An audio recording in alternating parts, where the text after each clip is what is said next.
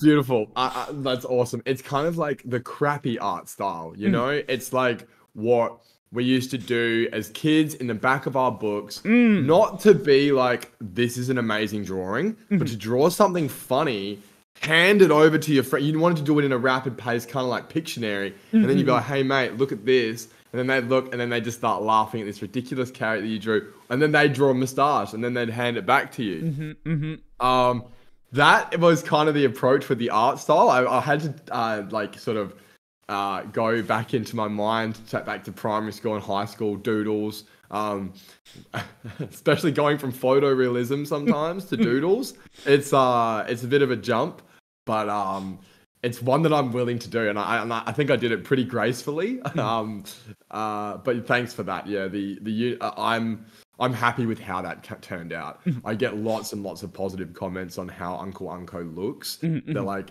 it's so jank but cool, and like, um, yeah, it's, it's exactly what I really wanted it to hit. So I'm really happy that the art came through. So, what actually went like?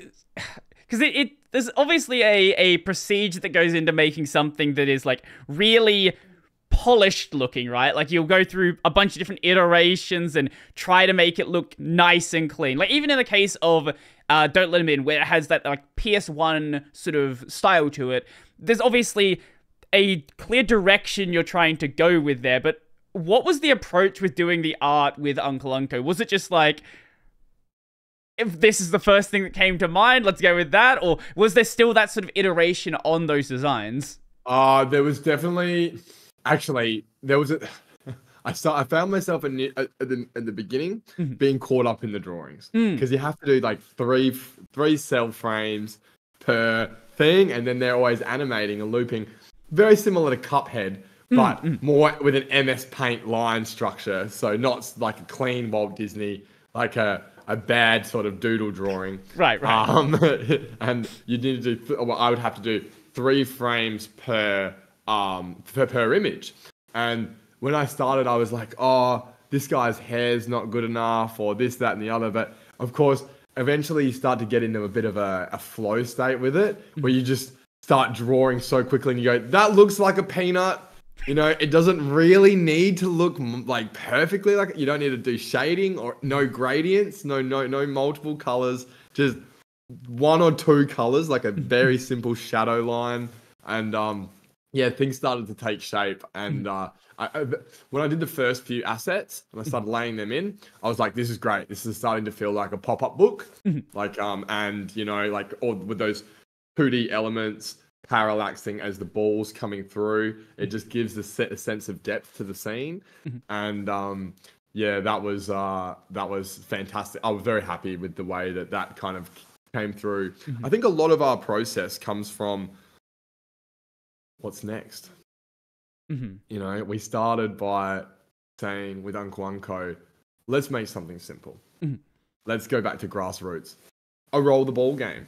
So we quite literally put a sphere in Unity and started moving, making a ball move around. And we thought, okay, this is kind of boring, right? Like it's just a ball moving around a scene. How do we make this a bit more exciting and engaging?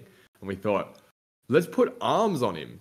And like, then it would be really goofy, right? Mm-hmm. And then he's like, and me, like me and my friend were like, yeah, that sounds really funny. And then like, I, I would go through and do it and I'd show him. And then he'd be like, yeah, this is really funny. And then we're like, what? It, the original idea was we mm-hmm. wanted to call him Meat Man and make him like a meatball, like a mm, mm. saucy meatball that slaps things. And uh, yeah, exactly. And like, so um, yeah, there's there's so many weird and wacky ideas coming out of the studio. Mm, but then we thought like it could be a bit graphic. Like we, li- we, you know, if you think about it, Meat Man, meat, meat sack. I think is what he wanted to call him.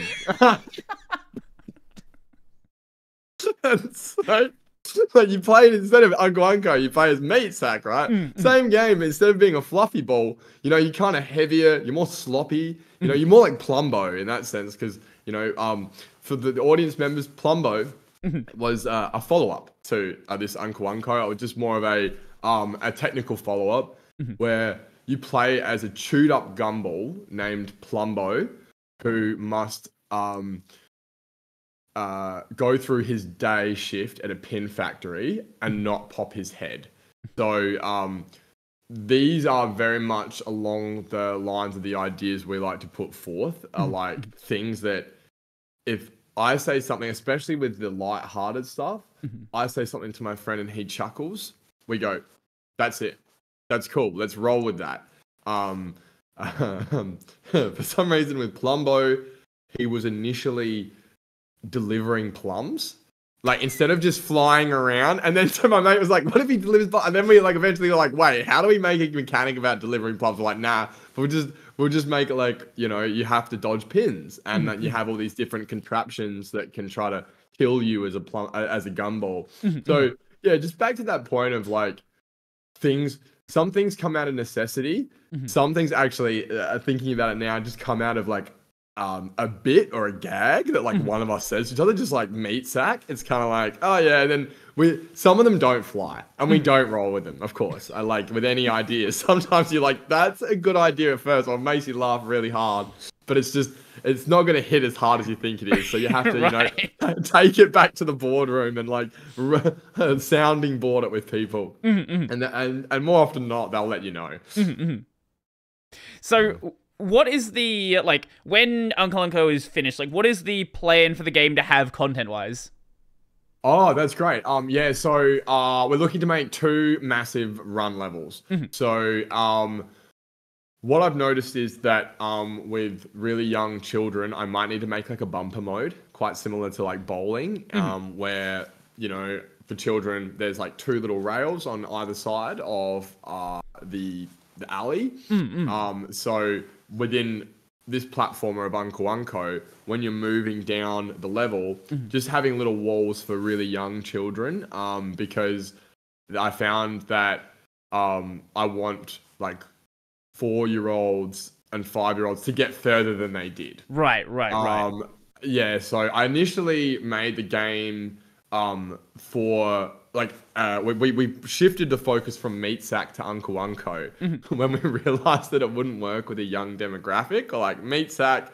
Just the name Sack, I think, in anything is probably not a good play. I mean, you know, it has like when you. I think maybe one day we might revisit that because you mean it's it's the whole thing of like if you laugh, it's probably a funny idea, you know.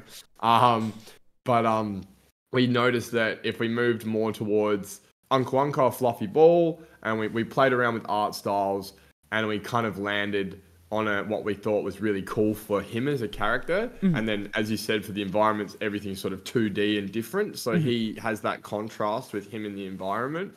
Um, that was um, uh, the big thing to be able to give it to my niece and nephew and say, here you go, play this, enjoy um, the fun little world that we've made. Um, whereas before, I can't show my nephew and niece, don't let him in. I can't show them all these other things that I have been working on and I'm very proud of too. I just can't show them off to them. Right, so right. I figured like I want to make something that I can um, you know, show off. Um, and uh, my little nephew Henry has been the best little play tester. Just a shout out to him. Um, he's telling me awesome ideas. You know, um, kids have their best ideas sometimes, especially within game development. if mm-hmm. you're a game developer and you you have a you have a kid play testing a game, listen to every word they're saying. Mm-hmm. It's crucial, crucial information. Even though if it doesn't make any sense, it's like you have to decipher through what the kid is saying, and like they're gonna tell you exactly what's wrong with your game. They got no filter. So yeah,